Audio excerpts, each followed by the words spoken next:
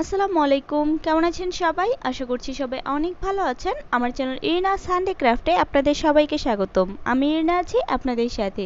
চলে এলাম একটা নতুন ভিডিও নিয়ে। আজকে আমি আপনাদের সাথে হ্যান্ড পেন্টিংয়ের অনেক সহজ এবং ইউনিক একটি ডিজাইন শেয়ার করব। তো ভিডিওতে যেমন দেখতেই পাচ্ছেন, আজকের পেন্টিংটি খুবই সফট এবং মিহি একটা কাজ। তো কীভাবে কাজ করলে আপনার পেন্টিংটাও সফট হবে হার্ড হয়ে যাবে না, সেটাই মূলত আজকে আমি ভিডিওতে আলোচনা করব। তো অবশ্যই চেষ্টা করবেন ভিডিওটি স্কিপ না করে সম্পূর্ণ দেখার। পেন্টিং কতটা সফট হবে তা মূলত নির্ভর করে আপনার রং কীভাবে মিক্সিং করছেন, আপনি কি ধরনের রং ইউজ করছেন তার উপর, আর সেই সাথে আপনি রংটা কীভাবে অ্যাপ্লাই করছেন তার উপর। তো এই সমস্ত ট্রিক্সগুলোই মূলত আমি আজকে আপনাদের সাথে বলে দিব যে কি ধরনের রং আপনার ইউজ করতে হবে সফট পেন্টিংয়ের জন্য এবং কীভাবে তা অ্যাপ্লাই করতে হবে। তো, আমি এখানে গলা এবং জামার নিচের পোর্শনে কাজগুলো করেছি। গলার পোর্শনের যে কাজটা আছে, তার ড্রয়িং টিউটোরিয়াল কিন্তু আমি আমার চ্যানেলে অলরেডি আপলোড করে দিয়েছি। আপনারা যদি জানতে চান যে ভিডিওতে দেখানো ডিজাইনটি কীভাবে ড্রয়িং করতে হয়, তাহলে আমার সেই ভিডিওটি কিন্তু দেখে আসতে পারেন। মোটামুটি খুব সহজে ডিজাইনটি ড্রয়িং করার একটা আইডিয়া সেখানে পেয়ে যাবেন। তো আমি ভিডিওটির লিঙ্ক ডিসক্রিপশন বক্সে দিয়ে দিব। আপনারা চাইলে সেখান থেকে দেখে আসতে পারেন। তো যদি কাজটি ভালো লাগে, তাহলে প্লিজ একটা লাইক দিয়ে দিবেন আর বেশি বেশি করে শেয়ার করে দিবেন। তো চলুন আর কথা না বাড়িয়ে দেখে নেওয়া যাক কাজটি আমি কীভাবে করেছি। তো শুরুতেই জেল পেনের সাহায্যে আমি কাপড়ে এখানে ডিজাইনটি এঁকে নিয়েছি। আপনি যে কোনো ডিজাইন যখন কাপড়ে এঁকে পেন্টিং করবেন, তখন সেটার আউটফিট কিন্তু অনেকটা নিখুঁত আসবে। তো আমি এটা প্রথমে ফ্রেমে আটকে নিচ্ছি। তো এই ফ্রেমটা সম্পর্কে একটা আপু জানতে চেয়েছেন। তো আমি এই ফ্রেমটা এবং পাশাপাশি হ্যান্ড এমব্রয়ডারি হ্যান্ড পেন্টিংয়ের জন্য আমি যেসব ফ্রেম ইউজ করি সেগুলো আমি পরবর্তীতে একটা ভিডিওর মাধ্যমে প্রকাশ করব। কারণ একটা ফ্রেম নয়, আমার কাছে বেশ পাঁচ, ছয় ধরনের ফ্রেম আছে। তো এক একটা কাজের জন্য আমি মূলত এক একটা ফ্রেম ইউজ করি। আর এখানে দেখুন, আমি রং এবং তুলিগুলো নিয়ে নিয়েছি। এখানে পাঁচ, ছয় ধরনের রং এবং তিনটা তুলি বা দুইটা তুলির মাধ্যমে আপনি সবগুলো কাজ কমপ্লিট করে ফেলতে পারেন। মূলত তিনটা তুলি দিয়ে আমি পুরো কাজটি কমপ্লিট করেছি। তো এই তুলিগুলো যদি আপনার হাতের কাছে থাকে, তাহলে অনেক সহজে এবং অল্প সময়ের মধ্যে কিন্তু পেনটা আপনি করে ফেলতে পারবেন। শুরুতেই আমার যে ফ্লপি তিন নাম্বার ব্রাশ সেটটা ছিল, সেই ব্রাশটা দিয়ে আমি এখানে বেজের কাজটা করে নিচ্ছি। এখানে মূলত আমি হোয়াইট পেস্ট দিয়ে বেজ দিচ্ছি। আর এখানে আরেকটা কথা বলে রাখি, আপনি চেষ্টা করবেন যখন বেজটা দিবেন হোয়াইট পেস্টটা একটু বেশি পরিমাণে দিয়ে বেজটা দেওয়ার। তাহলে একই সাথে যেমন ডিপ কালার কাপড়ে পেয়ে বেজের যে কাজটা আছে, এটা হালকা মনে হবে না, অনেকটা ডিপ মনে হবে। একই সাথে আপনার পেন্টিংটাও কিন্তু সফট হবে। আমাদের অনেকেরই ধারণা থাকে যে, হোয়াইট পেস্ট বেশি পরিমাণে ইউজ করলে আপনার যে ড্রয়িংটা আছে, সেটা হার্ড হয়ে যাবে। এটা কিন্তু মোটেও না। আপনার হোয়াইট পেস্টে যদি বাইন্ডারের পরিমাণ কম থাকে, তখনই কিন্তু আপনার পেন্টিংটা হার্ড হয়ে যায়।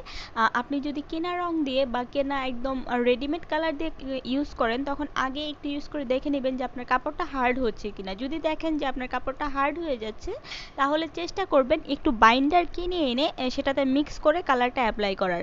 এবং পরবর্তীতে আপনারা দুইটা কালার একটু দিয়ে দেখবেন যে আপনারা নিজেরাই বুঝতে পারবেন দুইটা কালারের মধ্যে ঠিক কতটা পার্থক্য। তো আমার বেসটা দেওয়া কমপ্লিট হয়ে গেলে এখন ঢাল এবং লতা পাতার যে অংশটা ছিল সেই অংশটুকু আমি ব্রাউন কালারের সাথে কিছুটা আপসান কালার বা গোল্ডেন কালার মিক্স করে এটাকে একদম গোল্ডেন একটা শেড দিয়ে দিয়েছি। তো সেই কালারটা দিয়ে আমি ডালের কাজটা করে নিচ্ছি তো আপনারা চাইলে এখানে সরাসরি গোল্ডেন কালারটা ইউজ করতে পারেন। তো আমি এখানে এইভাবে এই পদ্ধতিতে ইউজ করছি। তো এই পদ্ধতিটা আমি আমার চ্যানেলে বেশ কয়েকটা কাজে আপনাদের আগেও দেখিয়ে দিয়েছি। এই কালারটা আমার কাছে মনে হয় যে ডালের জন্য একদমই পারফেক্ট আর এই ধরনের ডিপ কালার কাপড়ে যদি শুধু ব্রাউন কালার দিয়ে করতে চান কালারটা কিন্তু মোটেও ফুটবে না। আর শুধু গোল্ডেন কালারটা ইউজ করলেও আমার কাছে একদমই ভালো লাগে না। তো এভাবে গোল্ডেনের সাথে ব্রাউন কালারটা মিক্স করে দিলে দেখতে একটু বেশি সুন্দর লাগে। আর একই সাথে এটা যখন কাছ থেকে দেখা হয়, তখন এটা আপসানের জন্য একটা শাইনি শাইনি ভাব আসে, এটা দেখতে আরও বেশি ভালো লাগে। তো এই কাজটার জন্য আমি এখানে ইউজ করছি ট্রিপল জিরো সাইজের যেই রাউন্ড ব্রাশটা আছে সেটা।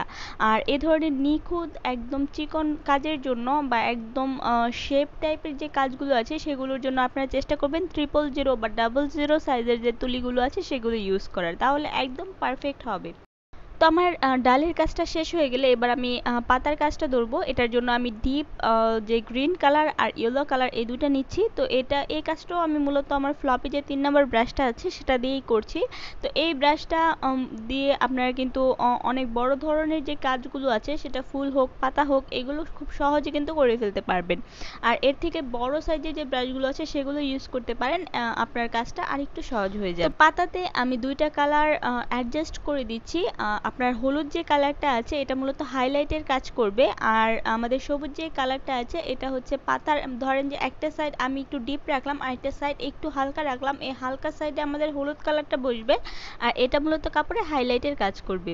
তো শুরুতেই এখানে হলুদ কালারটা কাঁচা অবস্থায় অনেকটা ডিপ দেখাচ্ছে, মনে হচ্ছে যে হলুদ কালারটা অনেক চোখে লেগে থাকছে বাট এটা যখন শুকিয়ে যাবে, তখন কিন্তু কালারটা অনেকটা হালকা হয়ে যাবে। তা আপনারা প্রথম যখন রং অ্যাপ্লাই করবেন, তখন এই বিষয়গুলো একটু মাথায় রাখার চেষ্টা করবেন। এই হাইলাইটিংয়ের কাজটা আপনারা আপনাদের পছন্দ মতো করতে পারেন। আমি জাস্ট আমি যেভাবে করছি, আমার করার প্রসেসটা আপনাদের সাথে শেয়ার করছি। আপনাকে একই রকমভাবে পাতা দিতে হবে, একই রকমভাবে হাইলাইট করতে হবে, এমন কোনো কথা নেই। তো এখানে অনেকে ভাবতে পারে যে এখানে কেন আমি জলপাই কালারটা ইউজ করলাম না? জলপাই কালার কিংবা আমরা হলুদ কালারের সাথে ডিপ সবুজটা মিক্স করে যেই কলা পাতা টাইপের একটা কালার হবে, আপনি যদি পুরোটা কালার সে একই কালার দিয়ে করেন, সেটা কিন্তু দেখতে ভালো লাগবে না। এভাবে আপনার দুইটা কাজ একসাথে যেমন আলাদা রং মিক্সিং করতে হচ্ছে না, একসাথেই করে ফেলা যাচ্ছে। আর এখানে আরেকটা কথা বলে রাখি, এই কাজটা করার সময় কিন্তু বারবার তুলি ধোয়া বা মুছার প্রয়োজন নেই জাস্ট আপনার তুলিতে লেগে থাকা অবশিষ্ট রঙগুলো দিয়ে আবার ডাইউট করে নেবেন, তাহলে কিন্তু দেখবেন কাজটা অনেকটা সুন্দর হবে।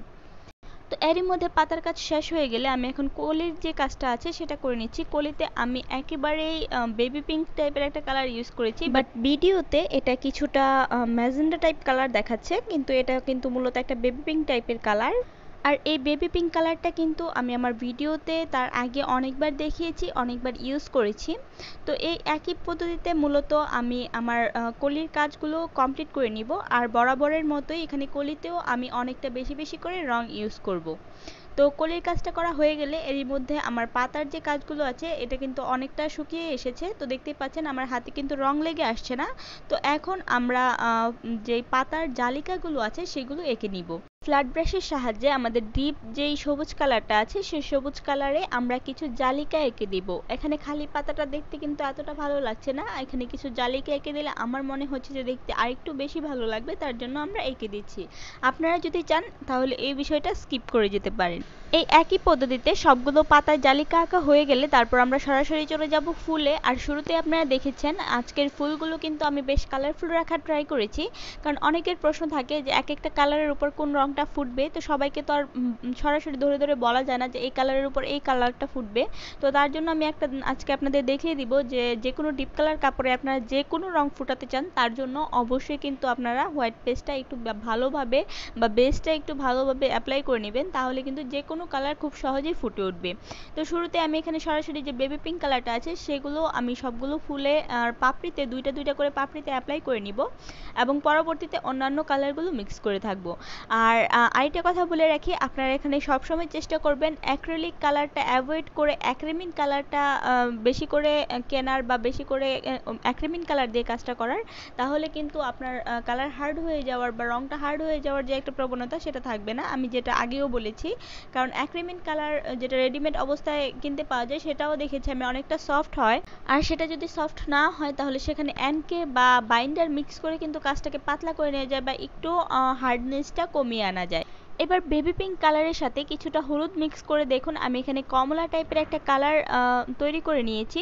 তো এভাবে আমি প্রত্যেকটা পাপড়িতে কালার বিভিন্ন দুইটা কালার মিক্স করে একটা ইউনিক কালার তৈরি করে নিচ্ছি। এই পর্যন্ত যারা ভিডিওটি দেখেছেন, আশা করছি তারা অতি সহজেই আপনারা এখন বলতে পারবেন যে একটা পেন্টিংকে আপনি সফট করতে চাইলে আপনার কি কি কাজ করতে হবে। তো এখানে রঙের যে বিষয়টা আছে, আমি কীভাবে ঘরে রং তৈরি করি সেটা আমি পরবর্তীতে একটা ভিডিওর মাধ্যমে আপনাদেরকে আরও ক্লিয়ারভাবে বুঝিয়ে দেওয়ার চেষ্টা করব। তো যদি আমার ভিডিওটি আপনাদের হেল্পফুল মনে হয়ে থাকে, আপনার যদি মনে হয় যে আমার ভিডিও থেকে আপনারা কিছু শিখতে পারেন, তাহলে অবশ্যই কিন্তু চেষ্টা করবেন আমার চ্যানেলটিকে সাবস্ক্রাইব করে পাশে থাকা বেল আইকনটিতে ক্লিক করে রাখার। আরেকটা কথা বলে রাখি, আপনি যদি বাইন্ডার খুব বেশি পরিমাণে মিক্স করে ফেলেন, তাহলে কিন্তু আবার পেন্টিংটা অনেক বেশি আঠালো হয়ে যাবে। তাই বুঝে শুনে বাইন্ডারের পরিমাণটা দিতে হবে।